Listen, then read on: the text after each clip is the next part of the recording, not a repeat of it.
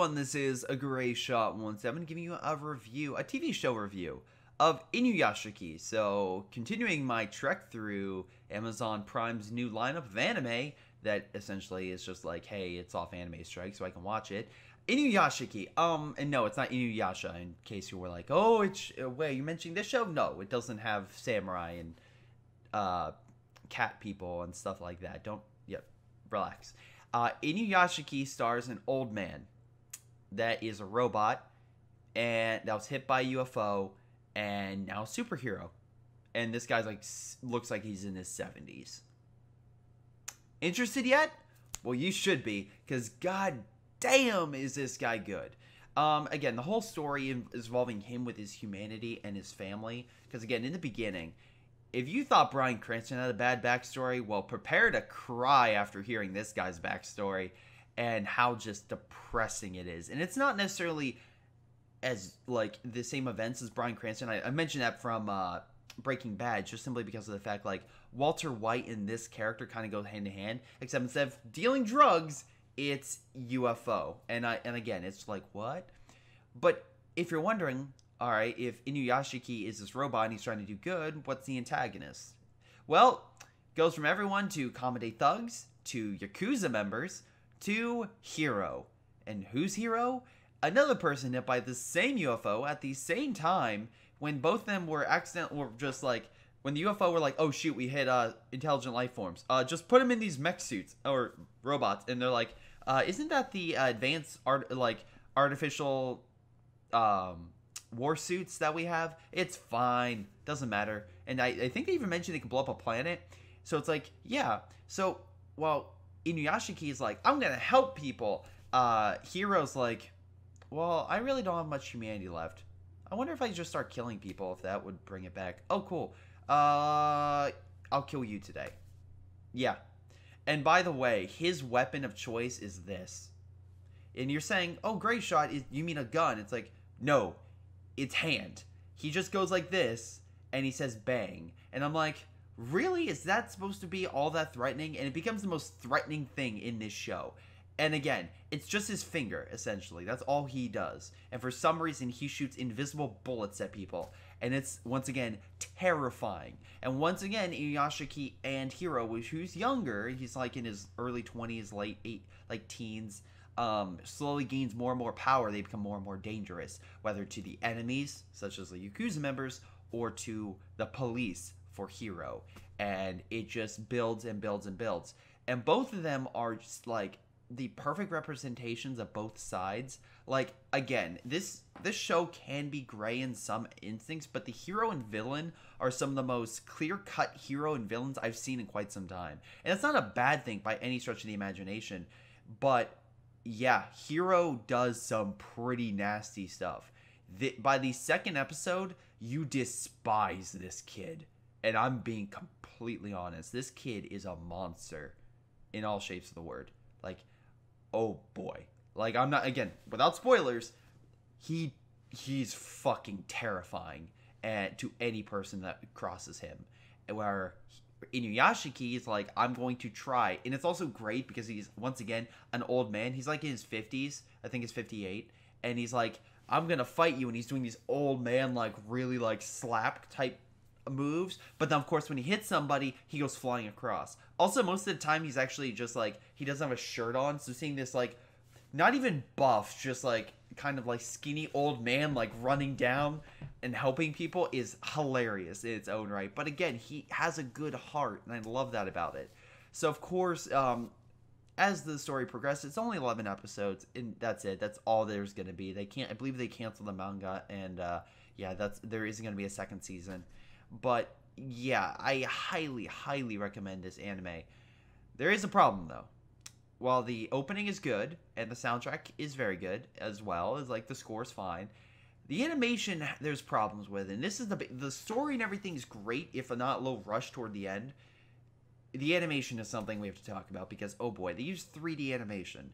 And it's fine for some parts but it looks terrible in others like there are moments where it's like they're fighting and it's like this is not rendered this looks terrible and again for what they are trying to do i appreciate that but once again, when I look at like Land of the uh, Land of Lustrous, I think is what it's called, another anime show, and like that 3D animation, or even RWBY, which is a web series animation, it looks worse. It's like really like, it's like really stilted and doesn't look that great.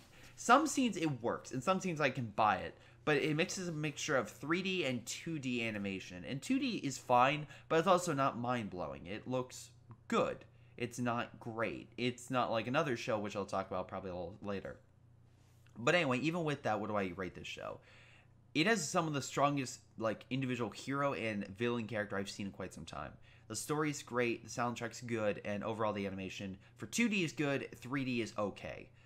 So if I had to give it a score, I would probably give it probably around an 8 out of 10 because once again, I can buy through the animation if the story is good enough and oh my god is it good enough. The, the again the hero villain dynamic of this show is fantastic and they go into so much detail about all these aspects you wouldn't uh, well i guess you would think of but you wouldn't think how it would be approached.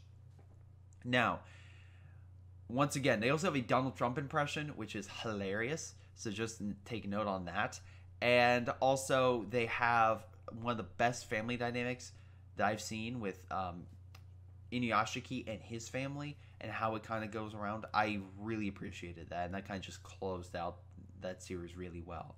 But in any case, going on to spoilers. We're in spoilers now. So yeah, they have Donald Trump, and it's an English impression. It's hilarious. I, I again, I just had to put that up.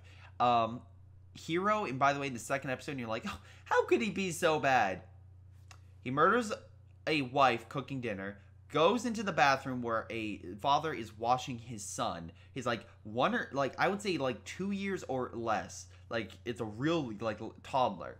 The t- like toddler is barely able to talk, and then the, kills the father after saying "I will kill your son." So the father's weeping, trying to protect his son, after slowly being shot piece by piece off him.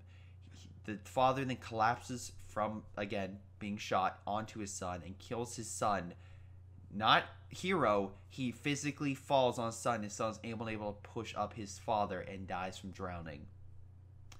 He then walks in on the daughter who comes in after all this and has, starts to have a conversation and slowly tells her daughter, "Yeah, I killed your family. Hey, what do you like? Do you like this?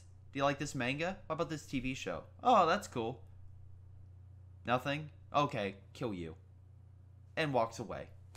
That's it that sequence is some of the most like gripping, like oh god moment I've seen in anime so far. Because it's just like they linger on shots and they linger on people in pain, and that's like cool. You're in pain, awesome. I get some enjoyment out of this. Yeah, it's fucking terrifying. That again, and Hiro, like he kills an entire police station, a SWAT team, because again, bullets don't affect him for whatever reason. Uh, also, you have the flip side where amazing sequence where Inuyashiki fights off Yakuza. There's also a, another character I do want to mention because he kind of is a little bit spoiler on how he goes back and forth.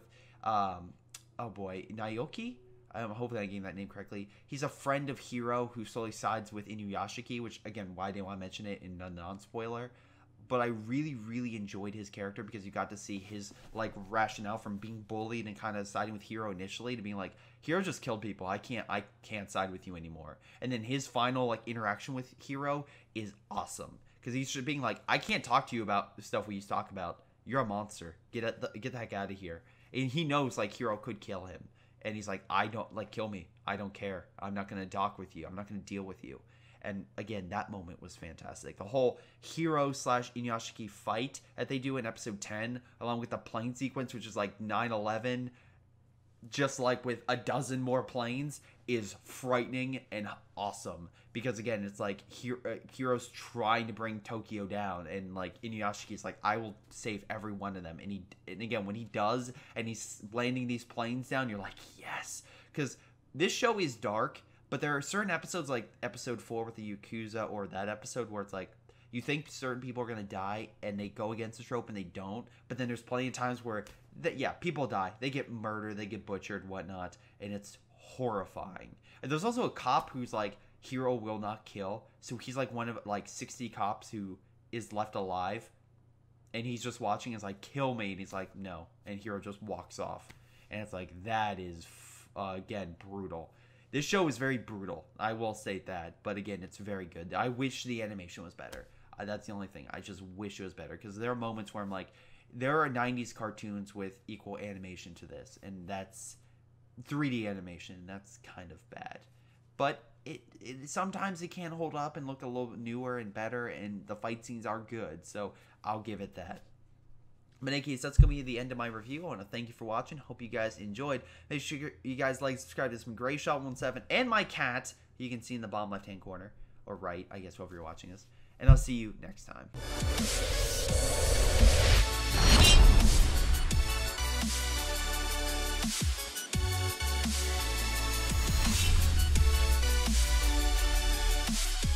Hey guys, before I go, I want to give a special shout out once again to Joey, Ace, Sean, Sejones, Leonard, Lou, Nick, Levings, and Tim. Thank you all for your awesome support, and I'll see you guys next time.